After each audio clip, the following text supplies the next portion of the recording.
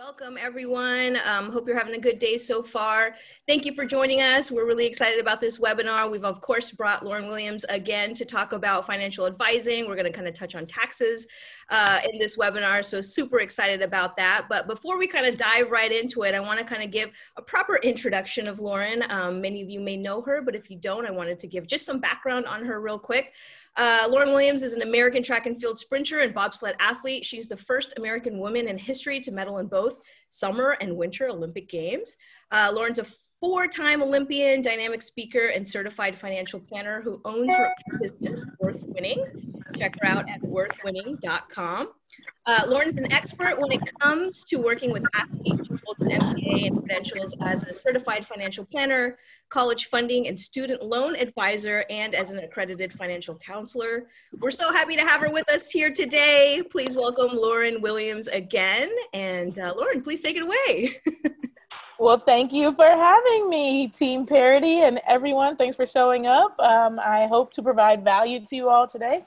Um, I am glad we're getting a second go round of this one. There was uh, a previous attempt at this one, but we, we didn't get it quite as planned because we had all kinds of technical difficulties. So Cheryl and I were about 15 minutes early today just to make sure no problems and we're ready to rock and roll. So let's get the party started. Uh-oh. Come on, chair. There we go.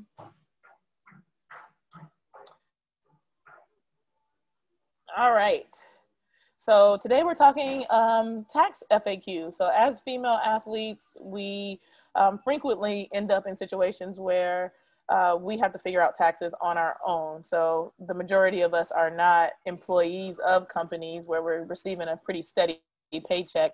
Um, but as athletes, we're getting, you know, as elite athletes, we're getting income from all sorts of places and it comes in all sorts of different forms and fashion. So we wanted to take some time today to talk about what it looks like to kind of fall into the various tax buckets and what you should be thinking about to be best prepared for taxes um, as an athlete. So Cheryl's already done all of the who am I. you don't need to do this part again. Um, and so we're just going to kind of cover like various things that come up as the FAQs all the time. So we'll start with sole proprietor versus independent contractor. And so this is one of those things where people are like, tomato, tomato, or are they really different? Like, how are they different? What, what does it all actually mean? Um, and there's also kind of self-employed that people throw in the mix when we're thinking of this. So let's start with sole proprietor. Sole proprietor simply means that you are earning money doing something. So sole, you know, mean only. It's like you're the only person of this business. Um, and so like to think of examples. Let's say Etsy super popular nowadays, and let's say you decide to sell face masks on Etsy well selling those face masks on on Etsy, you know, you can today decide you want to do that and just immediately start doing it, set up an Etsy account or, you know, even start doing it from your own Instagram account. You know, there's all sorts of different ways that people are earning income now and, you know, picking up side hustles and trying to figure out things. And you don't need to set up a business and get a lawyer and do all those things. Like you can just start making money. That's what a sole proprietor is, is you're doing something, you as the one person, you didn't set up a specific business entity and you're doing that to earn some sort of income from the outside world. Um, now, in comparison, the independent contractor is uh, a person who is providing a service to someone else uh, as, a, as part of their business. So as an example, you know, today I'm, you know, providing a service to Parity, uh, but I'm not an employee of Parity. So independent contractor being that you are providing some sort of service on an independent basis, um, but you are, like I said, once again, trying to earn an income from that. So you, ha- you have a kind of contract or an agreement between two people or two companies um, to do some work and you know, you know, you're one person, so you're independent contractor. Um, now, kind of like, what's the difference? Are they both like, are, are they similar, same, or not? Um, like I said, one is a, usually a product generally when you think of sole proprietorship, but you can also do a service. An independent contractor, like I said, is someone that is doing something for an agreement of service. They're both, however, self-employed. Um, so an independent contractor is one person, whereas a sole proprietor is a different kind of person. The, the kind of umbrella term is self-employed. And so it's like, is that yet another kind of tax term or is that something else? Like, what is it? And it's just kind of a general way to refer to various people um, you know, you do business for yourself. So that's kind of the difference between the sole proprietor and independent contractor. Um, then we have the like, well, what if I do want to become a business or when should I become a business? A lot of people are talking about setting up LLCs and they feel like, you know, maybe because they're not sure about the difference between the, the two, um, the sole proprietor independent contractor and realizing that it's not necessary for either of those to set up a business. You can simply just start to run your business. Um, you know, they, they hear something from a friend and they feel like I need to be a business. So what is it? An LLC is a limited liability company limited liability meaning that exactly what it says. It, it's limiting your liability. So what you would do if you set up an llc is go to you know your state organization um, fill out some paperwork and decide you wanted to be um, worth winning llc so in that case now you are a company and i'm not just lauryn the person. I'm not just an independent contractor. I am now operating as lauryn williams llc what does that do for me it limits my liability. Uh, so if someone wanted to come after me because you know I gave bad information on the webinar, they would be coming after Worth Winning LLC versus coming after Lauryn Williams, the person, and suing suing me for my personal assets. Um, so there's the benefit for that. Um, when you think about like, do I need this or not? You know, what kind of liability might you have in the business that you're running? And if there is some sort of big liability, then maybe you do want to have an LLC and get things set up so that you have a separate account for business, a separate account for um, you know your personal expenses. And that's another good point. Sole proprietors generally are operating from one one account. I always recommend that people open a separate account just to kind of separate things, keep life simple, because how do you really know what you're spending on? The, the face mask material versus the, the shipping and the instagram ads you're running versus your regular monthly rent bills groceries etc um, so as a sole proprietor you can have two separate accounts but you don't have to and most people do not. With an llc however you definitely want to set up a separate account and run your business expenses through it. Now one of the things that people get confused about is like well, I, you know, sometimes I, you know, I, I, I went out to the store and I had to pick up uh, some sort of business expense, and then I used my personal card. And now, before you know it, it's Mingo because I, I wasn't going to not buy it, even though I didn't have my business card with me. Yes, it, it can happen. You can do that. There's no like IRS police over your shoulder the minute that you make a mistake and, and purchase one thing from the next. Uh, but you need to be mindful because you also want to get the tax deductions associated with whatever are your business expenses. So LLC limits liability. It doesn't do anything other than that um, by itself. And so a lot of athletes I hear are setting up the LLCs because they hear, like I said, a friend has done it, but they don't realize that um, the, the reason that their friend has likely done it if they're working with an accountant or a financial planner is because they're also going to make an S election. And so an S election is a tax uh, status that can go with your LLC. So you're still worth winning LLC, but for tax purposes, you've elected to be um, looked at as an S corp.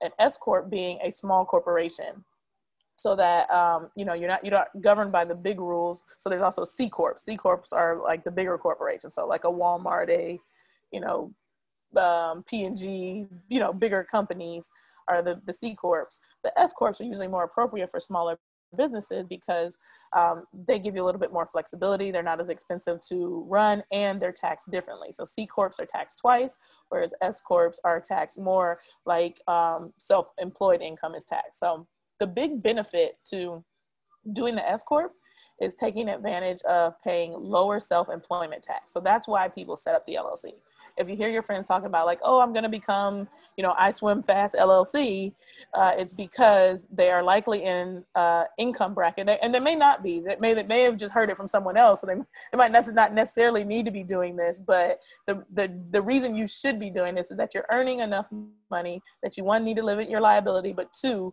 you'd like to make the S election so that you could pay a little bit less taxes. So how do you pay less taxes? Uh, we all pay what is called self-employment income. Well, when you make the S election for um, tax purposes, what happens is some of that self-employment income now is not, you're not subject to. So you will be required to pay yourself a salary. So let's say you make $100,000 a year. With that $100,000 a year, um, you know, well, let's, we got to make the math round, $120,000 a year. So you, make, you make roughly $10,000 a month well, we know we need to pay Uncle Sam some of that money, but we're not sure exactly how much. So what does it make sense to do is like when money comes in, um, you know, to get a good little buffer going in our LLC or our S corp and set aside. But then we start paying ourselves um, a monthly salary. So let's say we decide that you know I'm going to pay myself six thousand dollars a month. Uh, so now you look like an employee of a corporation in the same way as if you worked at a Starbucks or a, I don't know, Jimmy John's. I'm just making up places today. um, but if you work at a Starbucks, you know, you are an employee of that place and then you get a, a paycheck. So now, even though you are the business owner, you've made yourself an employee. You one stabilized your income, which is awesome because as athletes, what do we do? We have income that looks like this.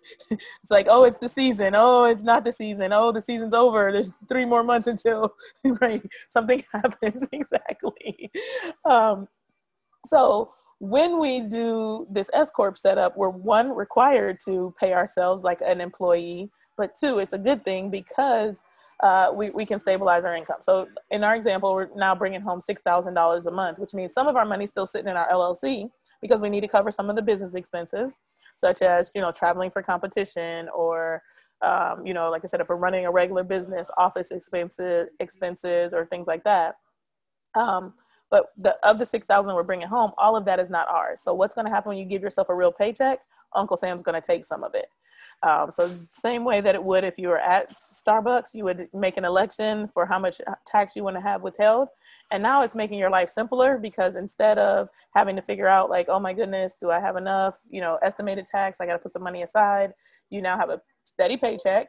You can make your budget off that steady paycheck and some money is already going to Uncle Sam. So you don't have to worry about, you know, him beating down your door at the end of the day uh, when it comes time for tax season. Um, now there is kind of the caveat that, like I said, let's say you have a, a sponsorship, and the sponsorship is the thing that gave you that hundred twenty thousand dollars of income. You also are probably going to have prize money coming in as you go to different competitions, races, meets, etc. Um, and so that's additional income. So you do want to set some money aside to be able to pay additional taxes on that money because that's not coming out of the the money that's flowing to your account every month. So LLC limits liability. S corp is an election that you would put with a limited a limited liability company to save yourself money on taxes. And the the key thing is you need to pay yourself. So when we think about paying ourselves, you know, there's kind of two different ways that this kind of transpires as well. So many of us as athletes have received a W-9 when we we have to fill out before we can actually get income from whatever it is that we're signing up for. So our NGB may um, ask us to fill out a W-9. If you're doing a speaking engagement, they may ask you to fill out a W-9. Um, and this is you providing your information to someone that is going to pay you so that they can say, hey, this was an expense to us. We don't want to pay taxes on money that was in our account um, we we sent this money to someone else and it was their income and hey irs you should go tax them on it.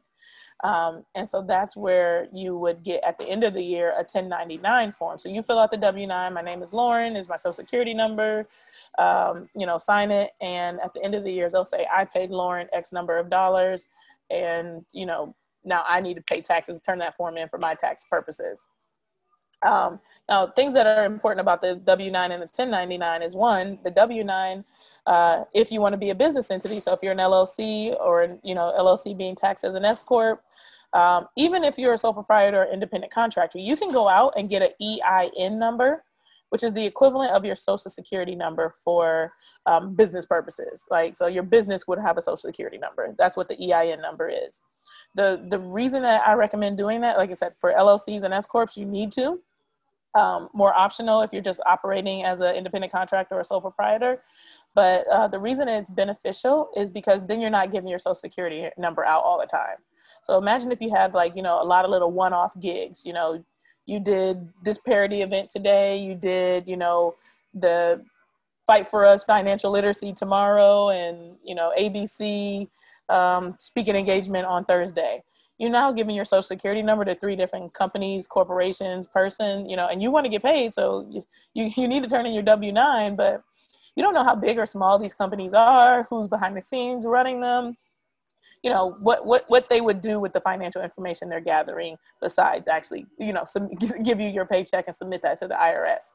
So an EIN number gives you an extra level of protection uh, should, you know, something, you know, go awry that would be tied to your uh, your business number, your EIN number, as opposed to your personal social security number and your you know identity not be able to be stolen. So that's one good thing about it. The other thing is that we don't think about as athletes is that we should be filling out these or giving out these W-9s to people that we work with. So nutritionists, massage therapists, um, coaches, anybody that we're paying over $600 um, for the year should be getting this W 9 form, filling it out. Yes, yep. Lauryn's like, I see. Yep, this is something we need to do. And at the end of the year, they should be getting a 1099. So, once again, this is something that we don't generally do. The IRS probably has not come and said, hey, you're in trouble. But, you know, if you ever get audited and your books are not in good order, these are the things, these are the gaps that people don't usually know about that could end up getting you in some sort of trouble. So, um, we are independent contractors, but we also have a lot of independent contractors working for us. Uh, and you need to be mindful of that as you run your business that give get the W-9 from those people and then you need to send them a 1099 by January 31st of the following year. So like we're in 2020, you know, your coach would work for you all year long. In January of 2021, you would should have like via good bookkeeping, budgeting, etc.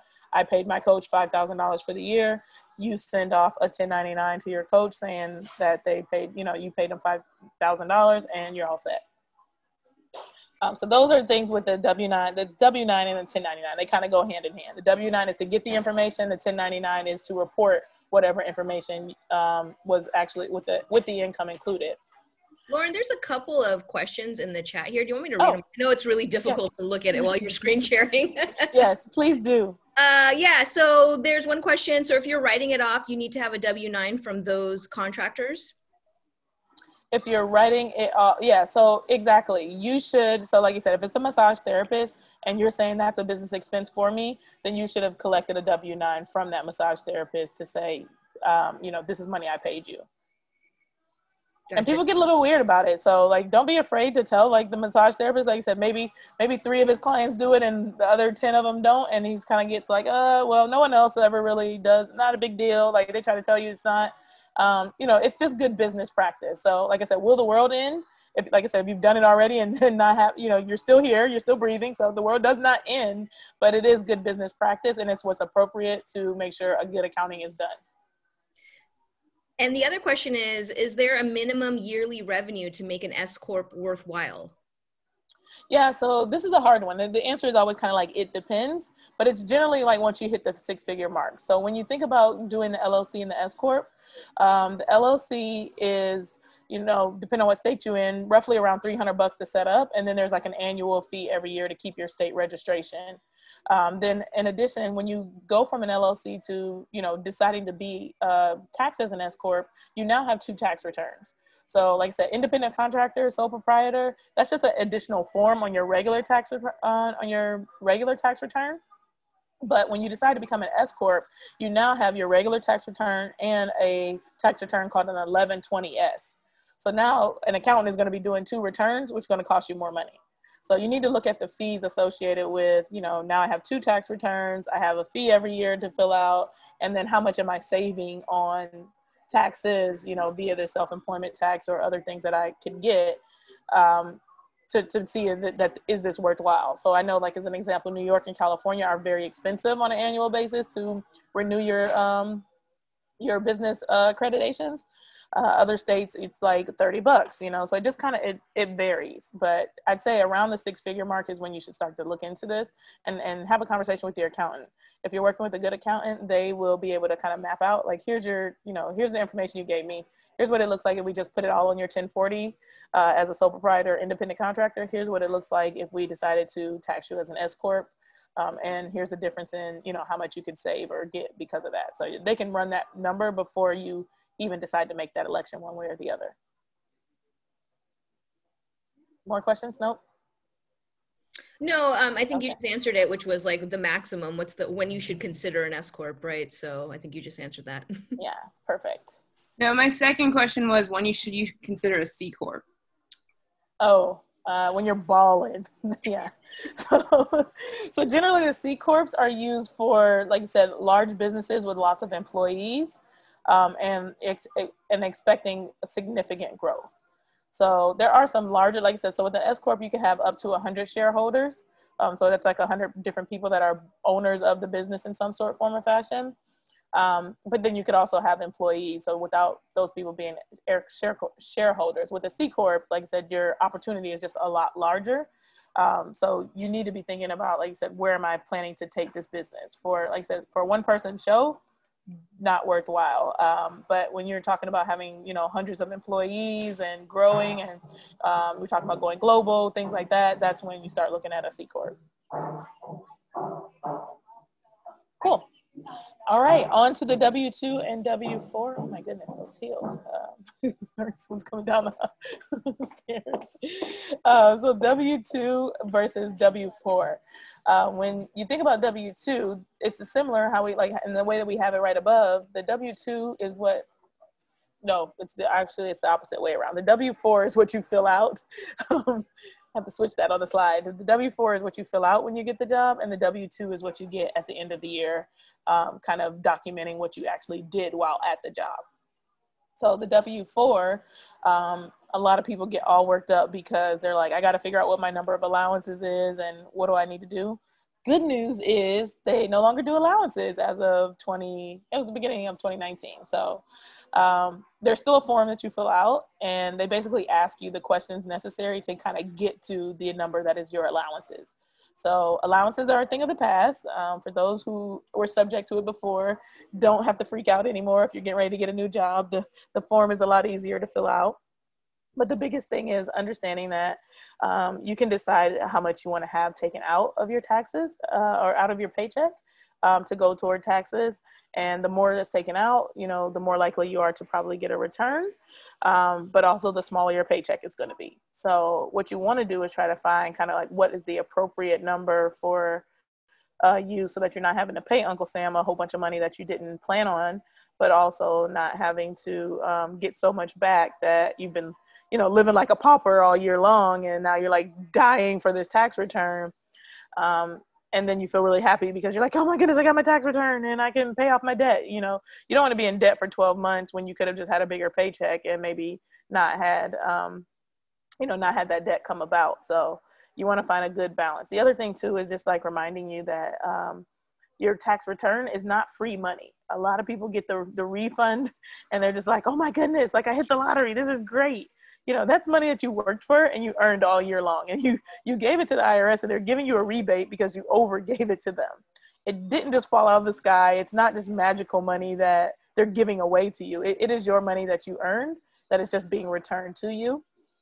And so just to be remind mindful to you know be responsible with it. Use it as it's meant to be used as income so that you can you know further your financial goals. Did not plan on the heels um, Another question here, Lauryn. the heels and all. Um, I, I, have a question about estimated payments if you remain a sole proprietor. You can wait till we get to like the, I don't know, more tax appropriate time. But I dealt with that a lot. I was like, I don't want to give the IRS like a free loan when I need that money and I have no real way to predict my estimated payments, but I'm encouraged to do so. I just like I hated it. It's horrible. Yeah, no, it is a tough one, especially for Olympic athletes because our income fluctuates so much. So as an example, I had a client had an awesome year and earned like three hundred thousand dollars. And so, you know, they, the taxes got done and the accountant provided es- estimated tax um, stubs so for the next, you know, four quarters, we were supposed to submit taxes based on this 300K. And the gentleman got injured like at the beginning of the season. So there was no 300,000 going to be made that year. We were going to be hard pressed to like have 100K.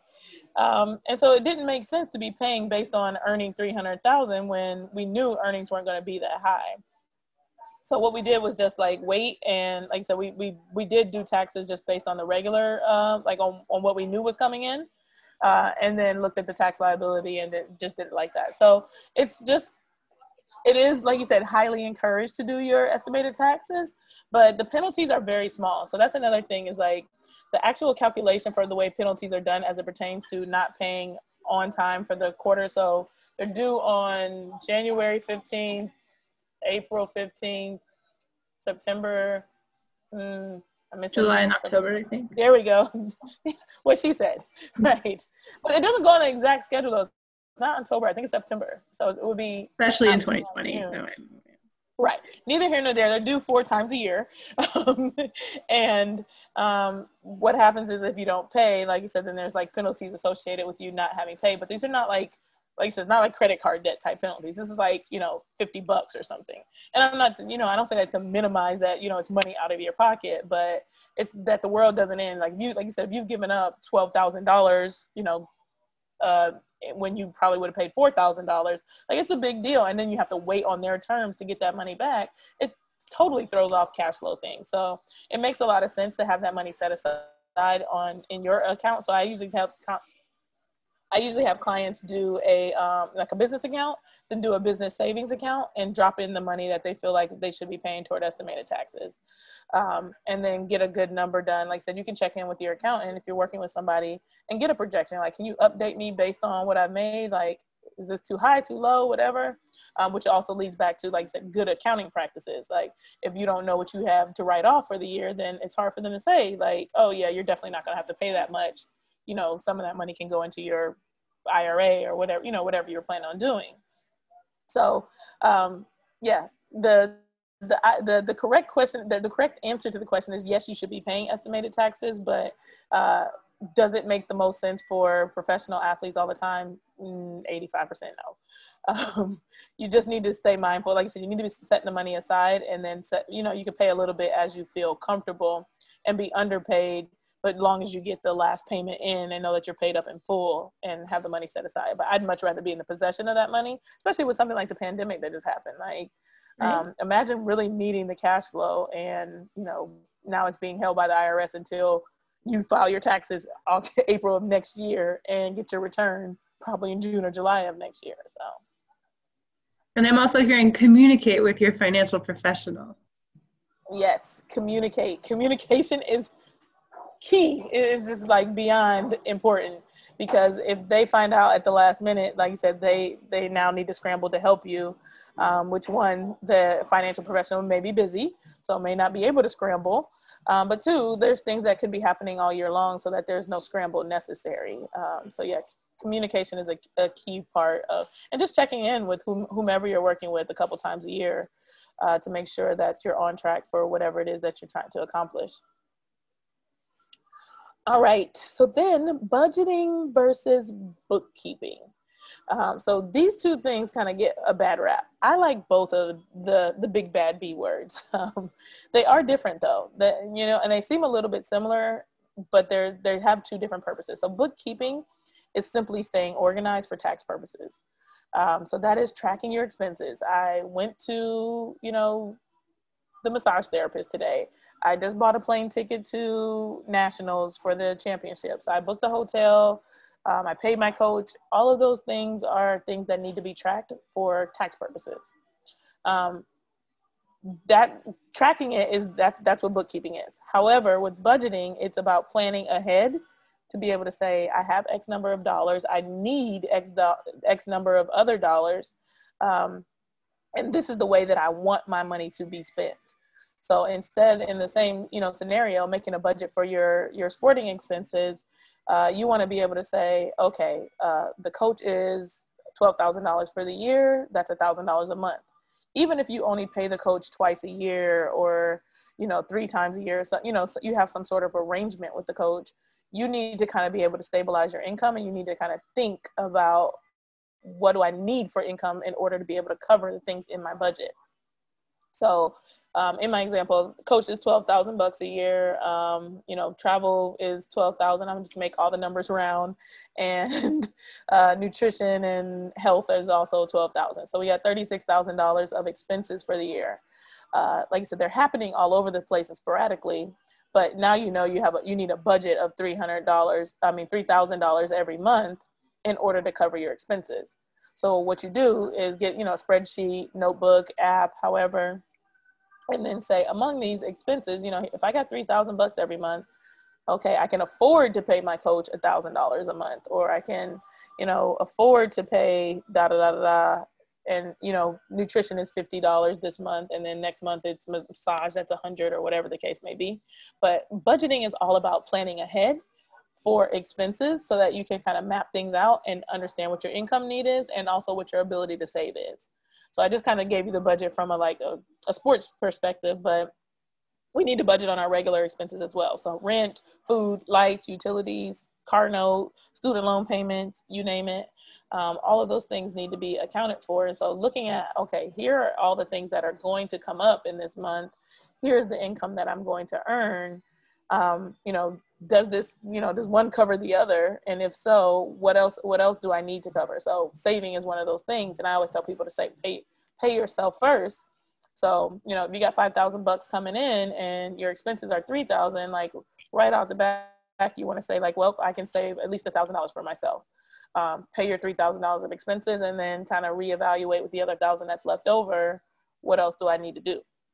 So bookkeeping is simply tracking. Budgeting is planning ahead and creating a plan for yourself so that you know one, uh, what your expenses will be, two, what income you need, and then three, how to be able to set goals around saving and other things that you want to accomplish. Um, and so both of them are important things if you're going to be organized. Uh, like I said, so my favorite budgeting app, actually, I'll go back to that. It's called You Need a Budget, and it is amazing. Everyone should try it. Um, you get 34 days free. Um, there are tons of other budgeting apps out there. There's Mint, that's super popular, and it is 100% free. It doesn't work as well, so you kind of get what you pay for. Um, and it's not that it doesn't work. So if you want to, you know, get started on it, and you never tried budgeting before, it's a great place to, to try. Um, but you'll find that um, you know as you get more into it and more interested in budgeting that you may need something a little bit more strategic or a little bit more well laid out. Um, but like i said there's nothing wrong with using a notebook. There's nothing wrong with using a spreadsheet if you're into excel or google sheets.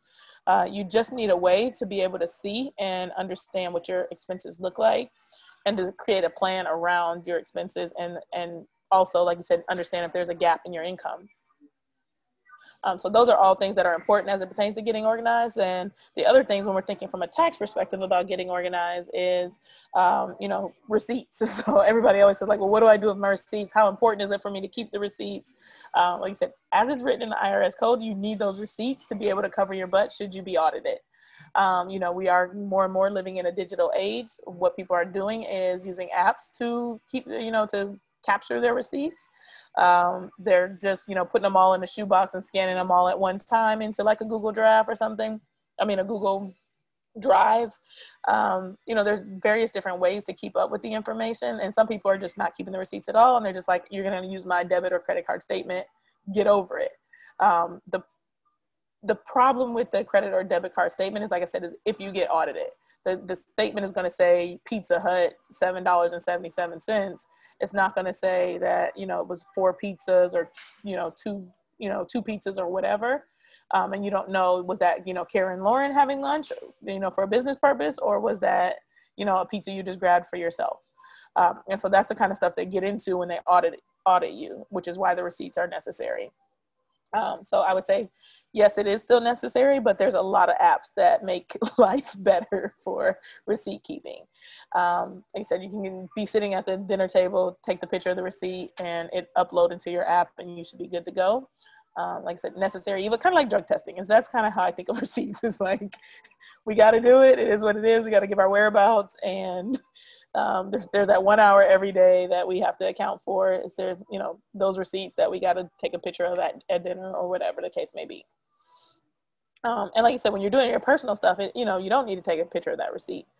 Um, if you're using a budgeting app, it's going to pull all that information in, and you can say I ate blah blah blah at you know like I just went on a trip to Detroit with my sisters, and you know I labeled all the expenses that I had during that time birthday, so I can say exactly how much I spent on that birthday trip um, you know, and look at that in the future to say, okay, like that was kind of a balling birthday. You kind of need to bring it down a notch next year, Lauryn, like, or whatever the case may be. So you should also be tracking your expenses for personal, but not as important from a tax perspective. Um, any questions in the chat or no? Good. No questions. Yeah. Oh wait. Okay. Oh yeah. No. No questions. Comments. Um, so then last but not least is you know like now that you know all of this information and you know that there's you know a necessity to decide do i need to be an llc or an s corp? Um, if i do you know do i make enough money to switch to one you know or you know getting that question answered do i make enough money to switch to one? Um, i can find that w9 online but how do i do the 1099s i mean it can also be done online uh, so the answer is yes, you can do all these things on your own, but you know, are you overwhelmed by me simply talking about them? That's a good indicator that you should probably get someone to help you. Um, you know, same thing with like I said, the budgeting and the bookkeeping. Bookkeeping, a lot of people you can pay a bookkeeper to do that bookkeeping for you on a monthly basis. The budgeting, like I said, I feel like you should always take responsibility for that because you need to have some awareness around your own spending. So when we think about to hire or not to hire, it is you know, how much work am I willing to put into this to make sure that it's done right? Um, if I'm going to do it myself and save money? Versus um, you know is this a worthwhile cause to have a professional? You know is it is it worth the dollars invested to probably save myself time um, and possibly save myself money? Because there's an expert looking at this and i you know while i learned a lot from lauryn today i'm, I'm not an expert in this sort of thing uh, so you you need to know that about yourself and know how will, how willing you are to go into the weeds when thinking about hiring versus not hiring. I would say it's not a good idea to just not hire because you're cheap, um, and you still know that you don't know this information. You're not willing to put a lot of time into it. Um, you can do your own tax returns. There's nothing wrong with it. People, you know, do it all the time. People also hire kind of other people to do their tax returns. So that's where I want to think when we talk hire or not to hire. You do not want auntie Peaches, I'm gonna say Auntie Peaches is her name today, uh, doing your taxes if Auntie Peaches just does taxes occasionally for herself and a few friends. She's not an accountant. So you do not want to pass the buck on to someone else who does not have expertise um, and assume that they're going to get it right for you. There are intricacies related to being a professional athlete uh, that are just a general person is not going to be aware of. But then on top of that, like I said, because they don't have expertise in this area, they're they're just they're, they're more apt to make mistakes. Um, and also, if you get audited, then they can't represent you in court. So they did this tax return for you, very convenient, only cost a hundred bucks or fifty bucks or something. But um, you know, when something goes wrong, it falls back on you and the burden of proof, and then you got to go hire an accountant anyway. So people who are not certified public accountants or enrolled agents, I would steer clear of. Um, and what they're generally called, if they're not one of those two things, is just like a tax preparer. Um, like I said, they do like a, maybe a general kind of like webinar course sort of thing. They get like a very quick certification. And I think, you know, now we know with all the online stuff, there's lots of things you can become certified in relatively easily uh, without a lot of education. But the enrolled agent and the certified public accountant are two people that have, um, like I said, a minimum amount of education. They have reporting requirements, they have continuing education requirements, and they, they can represent you in court should you become audited. Um, so those are the people that you want to work with. Um, they are worth the expense to, like I said, make sure your taxes is being done right, but also that that you know now they're taking on some liability because they have these certifications. Um, so yeah, so when we're thinking to hire, not to hire, I would say hire, um, and then not just hire, but hire someone who is certified or an enrolled agent. And with that, I will pause and let you guys ask me questions, comments, concerns, things that I didn't cover as it pertains to taxes.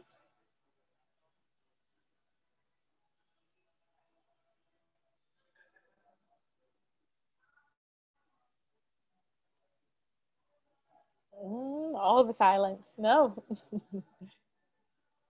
I think I just asked my questions during the during the thing. thing. But what I was saying was that you do go big for your birthday. That was the comment I made. I do. I do. I do. I pretty much always go big for my birthday. Yeah. Um, it's Which literally a national holiday. Well, now it's like a national day of mourning, but yeah, I think of it as a national holiday still. Yeah. um, Anything else, ladies? No? We want to talk investing? Uh, that was the other slide that we had because previously we kind of covered investing, but we just, we covered it very baseline. Um, yeah, I think, you know, one of the things I think you talked about or touched on before is like when to start investing, right? Because like looking at your debt to income ratio, for me, like mine's a little skewed because I own a property and then I also have student loans. Um, so I think even with those two things, you should invest. But like as far as like credit card debt, you know, what is your thought on like paying down credit card debt versus putting money into an investment? I am going to pull up my Nifty. I actually just did a presentation on Monday for another organization. Uh, share because the visual will help.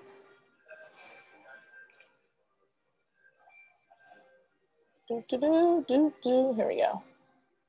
Uh, um, so yeah, there because you have those things does not. Uh oh. I, I, pressed the play from start button, huh? Um, because you have that, those things does not prohibit you from um, investing at all. Uh, play from current side. There we go. Uh, you can invest when you have debt. You can invest when um, you know you have some kinds of debt. Should should you be investing with all kinds of debt? Um, now that is kind of open a little bit more for discussion. So this is where I like to show my little. I got the screen in the way. There we go. Um, so if we look at this, like, what do we need to do before we're ready to invest, or what what should we be doing while we're investing? First things first is an emergency fund. If you don't have an emergency fund, we're not ready to invest. Uh, we need to get some money in the bank in case poop hits the fan to make sure that we're covered. Um, so, to, so be trying to grow money when we have no money to kind of cover anything um, is a real large liability because what happens? Some emergency happens and you're trying to pull the money out of the investments, which means now you need to lock in losses or either lock in gains and you, you undo the investing right off the bat because the emergency is obviously the most important thing. Um, so you first want to get this emergency fund. And I usually say that, you know, three months as a minimum is a good place to like, once you get to the three month mark, then you can kind of let off the gas. So let's say, uh, let's say I tell you your emergency fund needs to be thirty to $60,000. You're just like, oh my goodness, I'm never going to be able to start investing if I have to say that. Like, well, the 30 is kind of like I said, the minimum. So let's get to 30 and then maybe we can save like 500 bucks a month. You know, let's say you know, I'm I'm using some big baller dollars, but let's say we're saving two thousand dollars a month to get to the thirty, and we get there really quickly. Then once we get to thirty, now we like okay, we have a significant emergency fund, but um, what do we do from there? Like we can drop down to like five hundred bucks a month, so we continue to save for the emergency fund, but now we can start to reallocate dollars to other places because if an emergency came, we do have something to cover us. Um, so then the next thing you see here is the company 401k. So a lot of people that work at a regular employer um, are going to have a 401k available to them. And there's what we call the employer match at most firms. So your company will match three or 4%. Really good companies I've seen up to 6% of whatever you're putting in. So if you're putting in, um, you know, X, well, 6% of your paycheck, they're also going to put in 6% of your paycheck. So that's 12% that's being saved. Uh, why would you want to miss out on that when that's free money being to be that you're able to take advantage of? So yeah. you know, I usually. Uh, One thing I would say about this for those of you who will eventually go work for a company and they do a match, just be be clear on your vested date. So vested basically means like once you get to keep the match portion of your of your 401k. So like I worked at ADT Security my vested date was three years. So I made sure I stayed there at a minimum of three years to make sure I could keep all the additional money that they paid into my 401k. Exactly. And it can go as long as five years. So some of them will let you vest immediately and others will not. Um, some, like I said, they'll go as far as five years. So it's important to know because if it's a short term job, like it doesn't mean that you don't want to save for yourself. Uh, you might want to put something away for you. And any dollars you put in are yours. So you can take those dollars with you. You just can't take the company match. So let's say you get a job at a cool place and you know I'm just doing it because, you know, to fill the gap while I'm an, an athlete for the next couple years is not my dream job. Um, and there's three years to vest. Um, then it's like, well, well, let's think about, you know, maybe we should just cover the emergency fund first anyway, because I know I'm only going to be at this job at two years. So I'm not even going to be able to take advantage of this real employer match because I'm not going to stay there that long.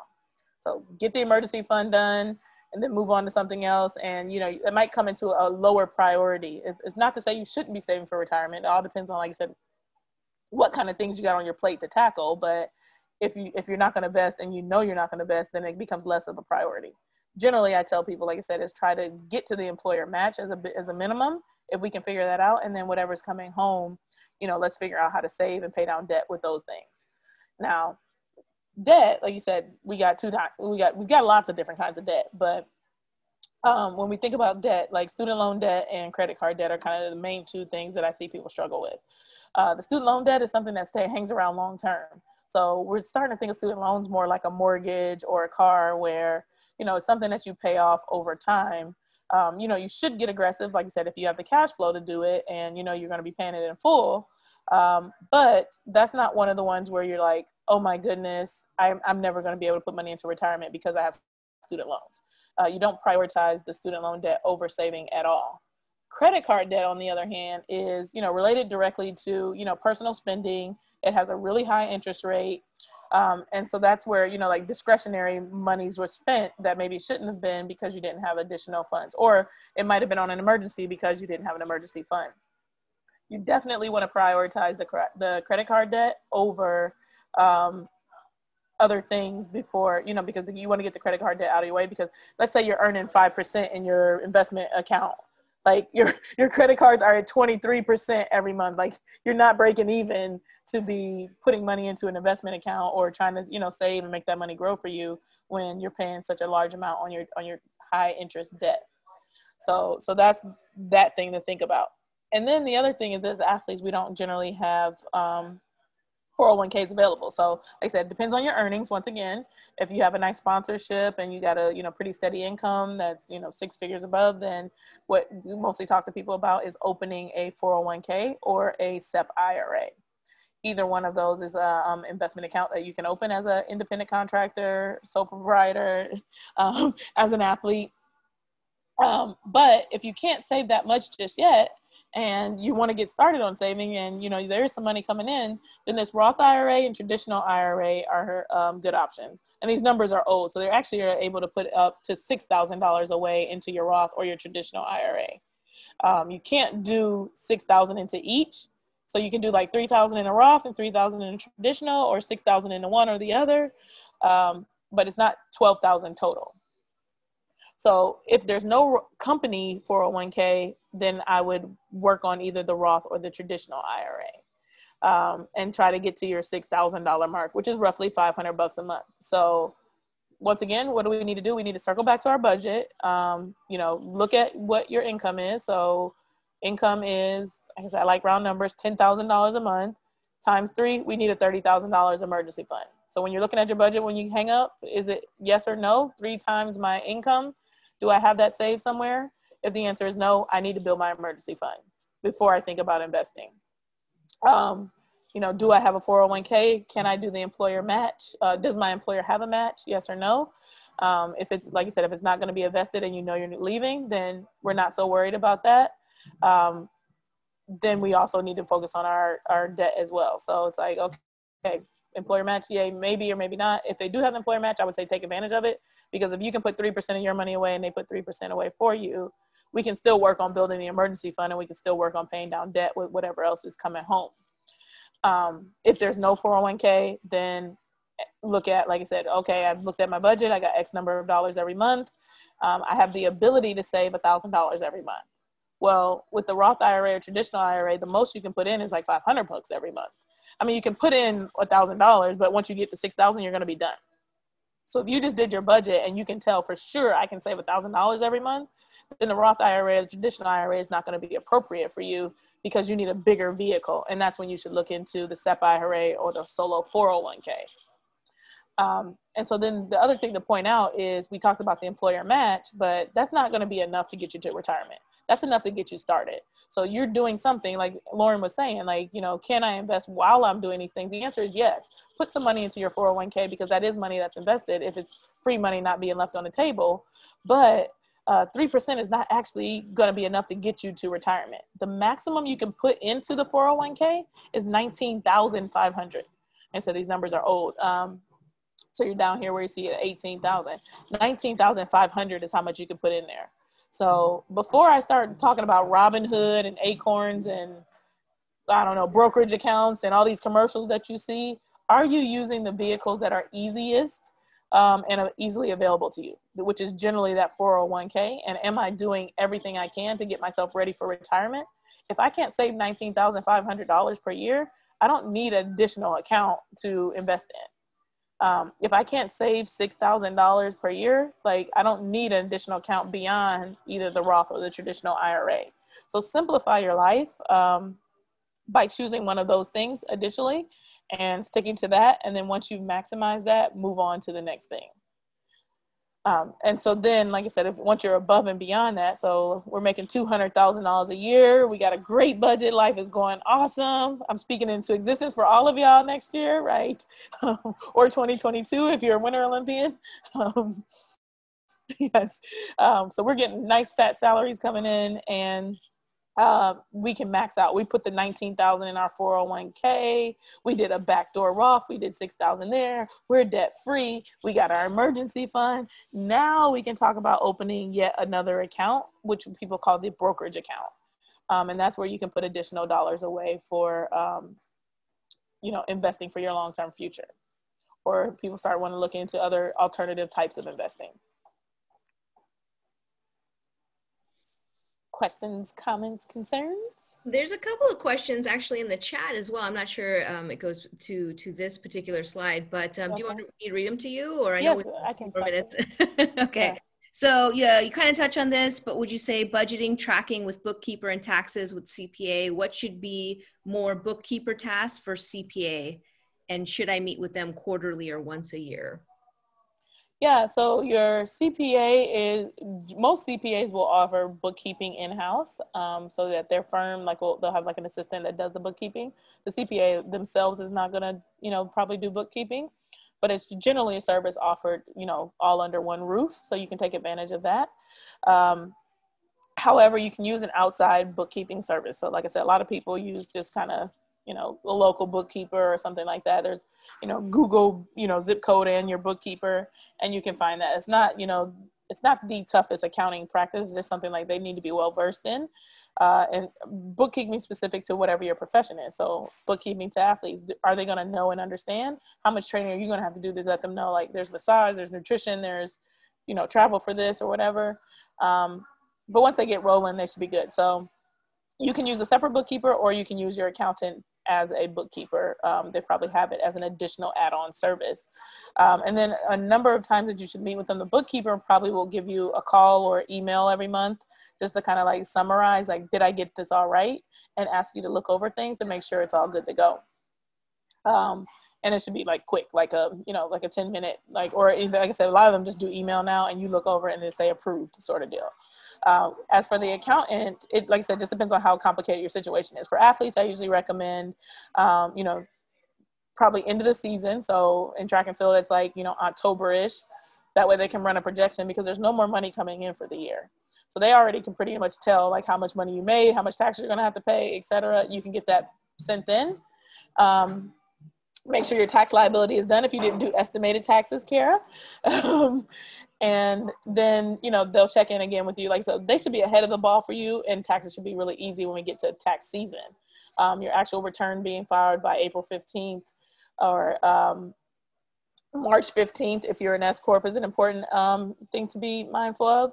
But meeting with them kind of january february is to make sure everything is wrapped up and that whatever you talked about in october is a, a good idea as well and then like i said maybe one other time in the middle of the year like at the most three times a year. I don't think you really need to meet with them three times a year. It depends on like I said what your season looks like and if things are changing.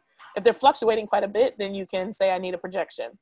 Um, but generally i think just meeting with them tw- twice a year would be uh, good for an accountant. And there was one more question um, in the chat as well. Uh, I have an LLC, but it's for investment properties. Um, that I plan on buying within the next 12 months. I'm the only member. I have a DUNS number and an EIN. How can I get secured lines of credit or find merchant lines of credit for my LLC so that I can look better for lenders without taking on too much more debt? Yeah, so a, a line of credit is specific, like, you know, if you want to buy real estate, then, you know, you would get a mortgage or for, for that particular property. The line of credit would be something that you would use to help um, you know, get yourself like get things. If, if you wanted to flip the house as an example, so you'd use a line of credit for that. So one thing is that you're gonna have to have good credit because they're not gonna like you're not gonna have any credit established for the LLC. LLC. Um, so that's one thing to take into consideration. Um, and then like where to go for the lines of credit like i would go to the mortgage broker first and then they could probably refer you to where you could get an additional line of credit um, like where good lenders are the biggest thing to know too is that like when you start looking um, you have 45 day window from when your credit is pulled to go to multiple different lenders. So one thing a lot of people worry about is you know they're going to pull my credit my credit's going to go down and it's going to ruin everything.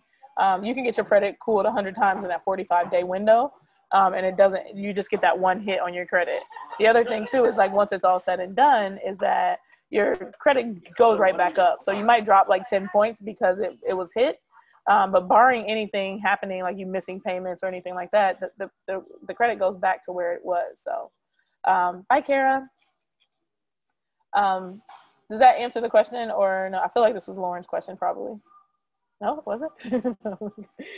Um, so yeah so that's the biggest thing. And then i mean they it's set up in an llc but um, the other thing is it's generally kind of hard to get loans in the name of an llc or to switch like um, so you might buy a house in your name and then you try to put the house into the llc um, when it has a lender the lender will make it the whole mortgage come due to get it to change it over deed wise so you want to buy the house in the name of the llc um, which is also, like I said, not the easiest thing to do. So you, you want to just be mindful of that as well.